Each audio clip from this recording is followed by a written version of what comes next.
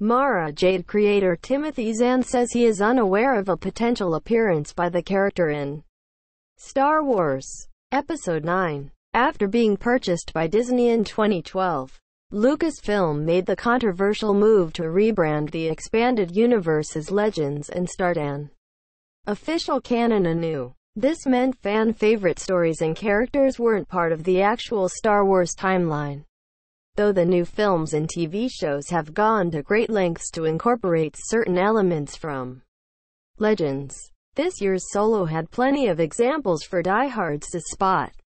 Arguably the most notable instance of Lucasfilm cherry-picking from Legends was when Grand Admiral Thrawn was included in Season 3 of Star Wars Rebels. The villain was originally created by Zahn for his heir to the Empire trilogy. Another memorable character who first appeared in that book was Mara Jade, who eventually became Luke Skywalker's wife. Fans have long clamored for Mara to become part of the canon, but nothing has come into fruition yet. A new Star Wars 9 role is rumored to be called Mara, but Zahn doesn't know if it's the Mara Jade or not. Related, Star Wars just made Old Legends details canon in an interview with the Talking Bay 94 podcast. The author said he's unaware if Mara Jade is in the Episode 9 screenplay. However, he would be interested in seeing the character make the leap from Legends to canon. As long as it was the right fit. If there was a generic, or organic, spot for her to fit into a story promise people, I will pitch it to the Lucasfilm Story Group. And then, it's their decision whether to allow it or not. It's worth mentioning that Zahn has some creative control over how Mara is used in Star Wars materials. He has the ability to block any brief cameos for the character. So if Mara is ever to appear, she will have a significant role in the narrative.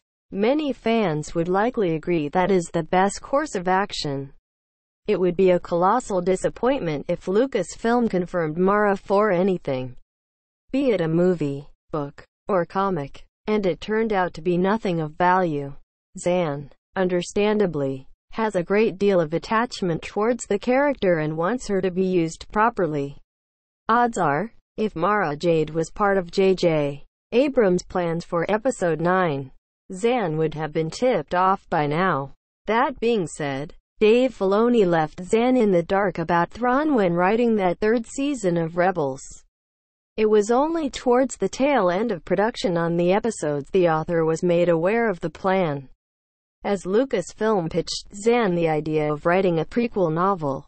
So, something similar could be in store here. And Zahn just doesn't know about it yet. Abrams holds a great deal of reverence for Star Wars.